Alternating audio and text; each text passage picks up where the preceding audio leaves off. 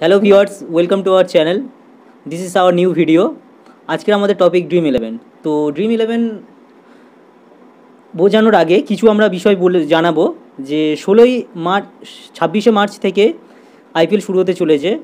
তো ক্রিকেট জগতে, ক্রিকেট হিস্ট্রিতে সবচেয়ে বড় খেলা হলো আইপিএল যদি আমরা বিশ্ব ওয়ার্ল্ড ওয়ার্ল্ড ওয়াইড দেখি, তো আইপিএলের মতো কোনো খেলাই হয় না। তো এটা ছাব্বিশ তারিখ থেকে শুরু হতে চলেছে- তো ড্রিম ইলেভেন যারা খেলেন না, তাদের উদ্দেশ্য আমি বলতে চাইব এটা তাদের জন্য বড় একটা অপরচুনিটি যে প্রত্যেকটা গেম খেলা, খেলার আগে একশো টাকা করে আপনারা পেয়ে যাবেন। কি করে পাবেন সেটা আমি ডিটেলসে বলব, ভিডিওটা দেখতে থাকুন। তারপরে আমাদের যে ড্রিম ইলেভেন আছে ড্রিম ইলেভেনে ফার্স্ট আপনাকে ডাউনলোড করতে হবে, ঠিক আছে? যে ডাউনলোডটা করবেন সেটা আমরা লিঙ্কটা ডিসক্রিপশানে দিয়ে দেবো। যেখানে আমাদের একটা কোড থাকবে, সেই কোডটা ইউজ করার পরে আপনি একশো টাকা ইনস্ট্যান্ট পেয়ে যাবেন, ঠিক আছে?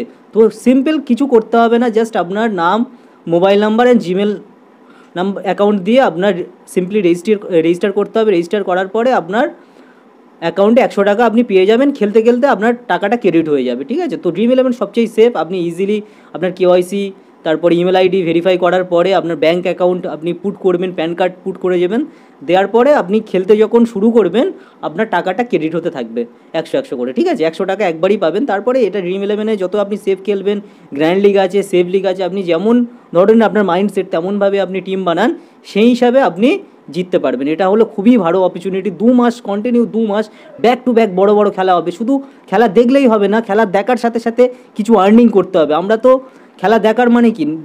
বিভিন্ন নলেজ হতে থাকে, কোন প্লেয়ার কেমন খেলছে। তো অনেকে ক্রিকেটে প্রচুর নলেজ আছে, কিন্তু খেলতে ভয় পায়। কীভাবে খেলতে হয় অনেকে জানে না। তো আমরা এই ভিডিওতে পুরো ডিটেলসে জানাব যে কীভাবে খেলতে হবে। তো পরের আমাদের যে টপিক আছে, সেটা ড্রিম ইলেভেন কেমনভাবে খেলতে হয় সেটা আমার পার্টনার সেটা বলে শোনাবে যে কেমনভাবে ড্রিম ইলেভেন খেলতে হয়। তো অনেকে আমরা ভাবি যে ড্রিম ইলেভেনটা হচ্ছে লাকের গেম কিন্তু এরকম কোনো ব্যাপার নয়। এটাতে লাক নয়, অনেকটা বুদ্ধির গেম আমি বল, যদি বলি যে ten percent luck ninety percent বুদ্ধি। কারণ আমরা নিজেরা খেলে আসছি সেই ড্রিম ইলেভেন প্রথম থেকে। ড্রিম ইলেভেন যখন থেকে রিলিজ হয়েছিল আমি খেলা শুরু করি দু হাজার ষোলো থেকে। হ্যাঁ সেই প্রথম থেকেই আমরা খেলে আসছি যখনই ওরা অ্যাপ লঞ্চ করে। তো আমাদের আপনারা আইডি দেখতে পারেন আমাদের জেতার পার্সেন্টেজ অনেক হাই তো সেখানে আমরা প্রায় প্রত্যেক লিগই জিতি। কেন জিতি? কারণ আমরা অ্যানালাইসিস করি। তো খেলার আগে অ্যানালাইসিস করাটা অনেক জরুরি।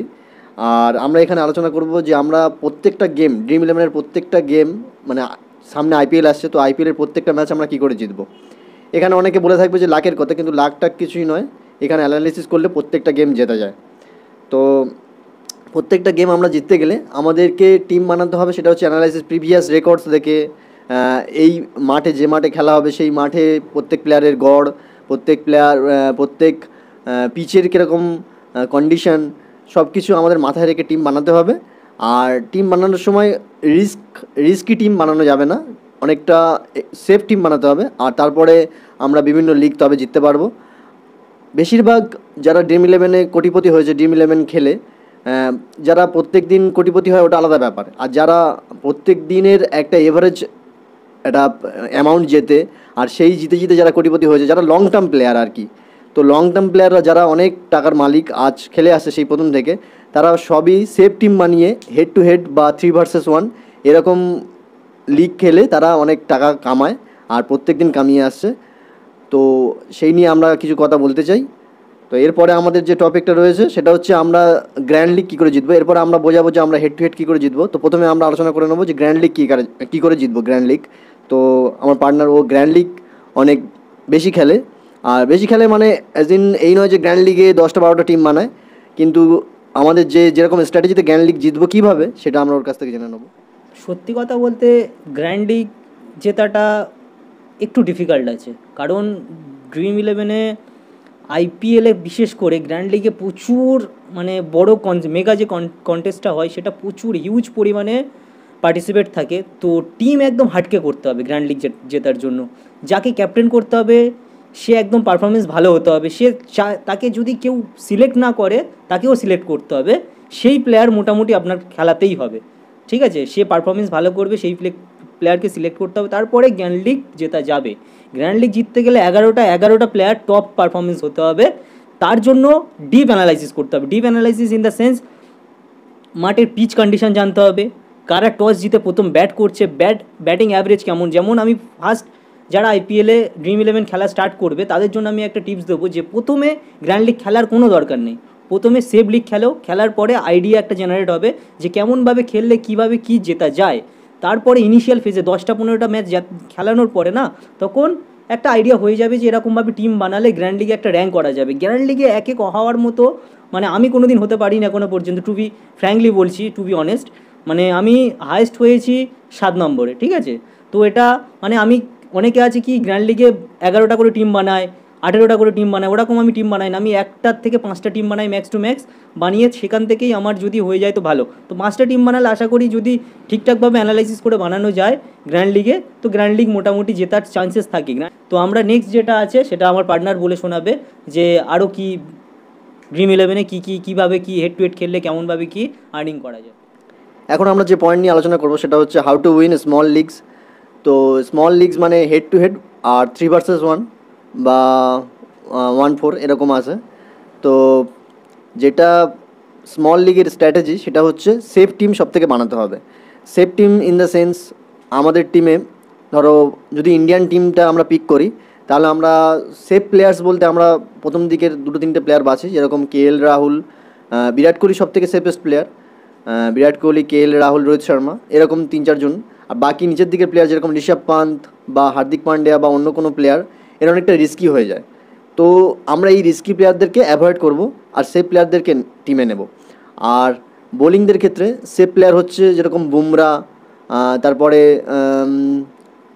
বরুণ চক্রবর্তী এরকম হচ্ছে বোলিংদের ক্ষেত্রে সেফ প্লেয়ার তো এরকম সেফ প্লেয়াররা আমরা আমরা টিমে রাখব। আর বাকি যে এরকম রিস্কি প্লেয়ার যেরকম যারা বোলিংয়ে অত্যন্ত বিশেষ করে টি টোয়েন্টিতে রান দিতে থাকে, যেরকম মোহাম্মদ শামি আছে, আর এরকম উমেশ যাদব মোহাম্মদ শামি বা বাকি প্লেয়ার্সরা তো এরকম প্লেয়ারদেরকে আমরা অ্যাভয়েড করব। তাহলে আমরা স্মল লিগ জিততে পারব। আমরা আজ পর্যন্ত স্মল লিগস আমাদের হারের পার্সেন্টেজ খুব কম। তো স্মল লিগের যে স্ট্র্যাটেজি আমরা জিতেই থাকি হ্যাঁ। হেড টু হেডে এটা কি? হেড টু হেড খেলার ফেসিলিটি এটাই যে অনেকে এমনি রিস্কি টিম বানিয়ে হেড টু হেডে জয়েন করে দেয়। তো এখানে আমরা যদি একটু সেফ টিম বানাই একটু যদি বুদ্ধি লাগিয়ে সেফ টিম বানাই পিচ কন্ডিশন ওভারঅল রেকর্ডস সব কিছু দেখে যদি আমরা টিম বানাই, তাহলে আমরা প্রত্যেকবারই head to head league three versus one আমরা জিতবো।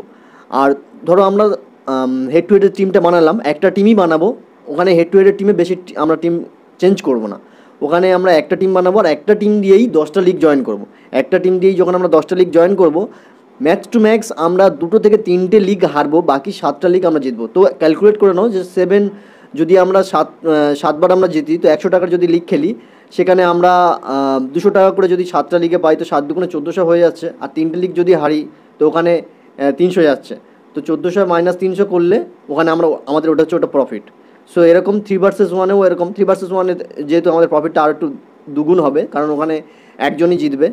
তো ওখানে একটাই টিম বানাতে হবে সেফেস্ট অপশান এটাই, একটাই টিম বানাতে হবে, আর সবগুলো লিগই ওই একটা টিম দিয়েই জয়েন করতে হবে। ওটাই হচ্ছে সেফ টিম হবে। আর আমরা পরবর্তীকালে যদি আপনারা চান, তাহলে আমরা টিমও দেবো। যে টিম দিয়ে আমরা জিতে আসছি, আমরা প্রত্যেকটা টিমের অ্যানালাইসিস করি অনেক নিখুঁতভাবে, আর সেই জন্য আমাদের উইনিং পার্সেন্টেজ অনেক বেশি। এরপরে আমরা আলোচনা করব যে আমরা ড্রিম ইলেভেনে কী কী করব না।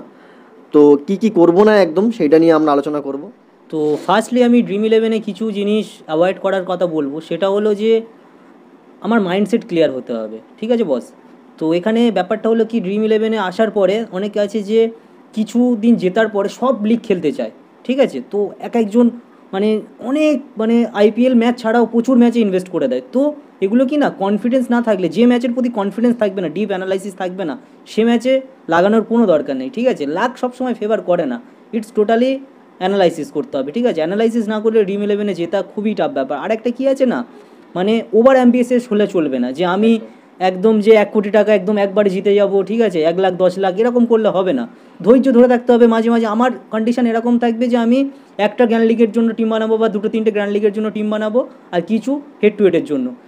দুটো হেড টু হেডের জন্য বানাবো যেখানে আমি সব জায়গায় খেলব। আর প্রত্যেকটা ম্যাচ খেলার জন্য চেষ্টা করব না। ফার্স্টলি এক্সপিরিয়েন্স গ্যাদার করতে হবে, ঠিক আছে? এক্সপিরিয়েন্স গ্যাদার কী করে হয়? প্রথম চার, পাঁচটা ম্যাচ বা দশটা ম্যাচ এরকম কম ইনভেস্টমেন্ট করতে হবে, ঠিক আছে? যে ম্যাচের প্রতি হান্ড্রেড পার্সেন্ট কনফিডেন্স না থাকবে না, সেই ম্যাচে কনফিডেন্স কম ইনভেস্টমেন্ট করতে হবে। তো কম ইনভেস্ট ইনভেস্টমেন্ট কী করলে কী হবে না? ওখান থেকে এক্সপিরিয়েন্স গ্যাদার হবে। তো এক্সপিরিয়েন্সটাকে ইন ইন ফিউচার তখন ভালো ভালো টাকা অ্যামাউন্ট যেতে জেতা যাবে আর কি। আর একটা জিনিস বলতে চাইব, যখন না অনেকে আছে যে টিম বানিয়ে দিয়ে ভুলে যায়, ঠিক আছে? যে প্রচুর কাজের মধ্যে থাকে। তো যেদিন না আপনার মানে শিডিউল যেদিন খুব টাইট থাকবে, সেদিন টিম বানানোর কোনো দরকার নেই। অ্যাভয়েড করা দরকার, ঠিক আছে? কারণ ফালতু ফালতু ইনভেস্টমেন্ট হয়ে যাবে, দুটো তিনটে প্লেয়ার অফ থাকবে টস হয়ে যাওয়ার পরে যখন লাইন আপ আসবে না, তখন অনেকে টিম চেঞ্জ করতে ভুলে যায়। তো এক, প্রত্যেকটা দিন খেলতে হবে, তার কোনো মানে নেই, ঠিক আছে? যেদিন পুরো ফ্রি থাকবে অ্যানালাইসিস করে সেদিনই বস নামো টিমে ঠিক আছে? আদারওয়াইজ ফালতু ফালতু এখানে এক টাকাও ইনভেস্ট করার কোনো দরকার নেই। কারণ এখানে ডিম ইলেভেনে প্রচুর কমিশনও কাটে ট্যাক্সও আছে।